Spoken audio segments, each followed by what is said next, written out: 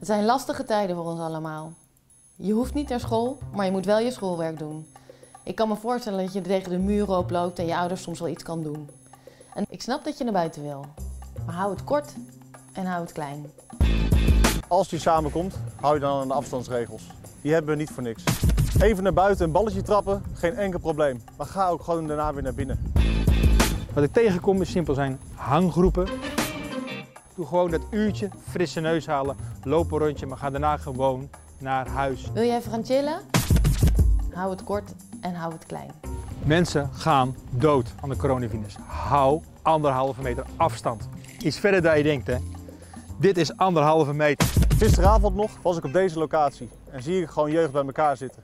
Het is hartstikke gezellig, maar het is op dit moment niet de bedoeling. De boetebedragen zijn gigantisch hoog, maar niet zonder reden. Er gaan mensen aan dood. Wie weet iemand van wie jij houdt? Alsjeblieft. Geen box, geen elleboog, geen voet. In deze tijd hebben heel veel mensen het moeilijk. Daar kun jij bij helpen. Stuur ze een appje, bel ze even op, ga facetimen met je oma. Dat is lief.